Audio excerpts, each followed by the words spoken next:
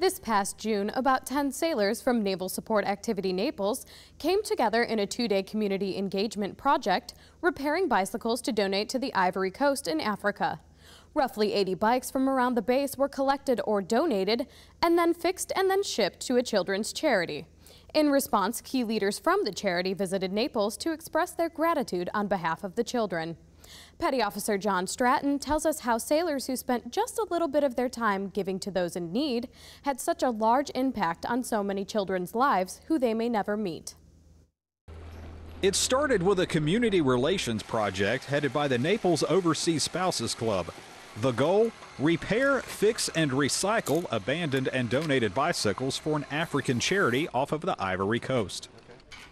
Several weeks and roughly 80 bikes later, two proud members of the Etiporto in Africa charity made a special visit to Naval Support Activity Naples to accept their gift. The kids, they still remember all the joy when toys from the last project were sent over. These bikes will make them very happy.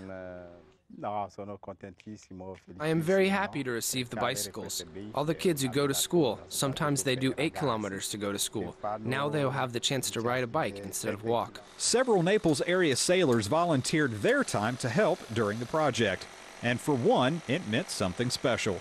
I do it for the kids. I truly enjoy doing COMREL, the community relations projects, because I get to be able to play with kids. Petty Officer John Stratton, Naples, Italy.